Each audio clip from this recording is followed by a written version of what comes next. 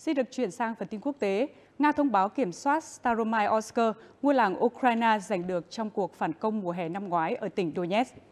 Theo Bộ Quốc phòng Nga, các lực lượng Nga đã tiếp tục tiến sâu vào phòng tuyến của đối phương tại tỉnh miền đông Donetsk.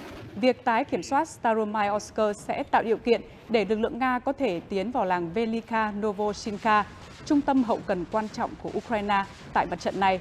Việc để mất Velika Novoshinka sẽ khiến Ukraine gặp nhiều khó khăn trong việc tiếp tế cho thành phố Vuleda, được coi là pháo đài then chốt trong phòng tuyến của Ukraine tại Tây Nam Donetsk.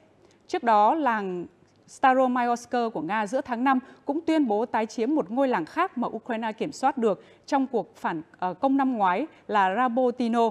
Đây là bước thụt lùi mang tính biểu tượng của Kiev do quân đội nước này từng tổn thất uh, lượng lớn binh sĩ và phương tiện chiến đấu để chiếm được ngôi làng. Hiện lực lượng Nga đã kiểm soát được 47 thị trấn và ngôi làng ở Ukraine tính từ đầu năm đến nay.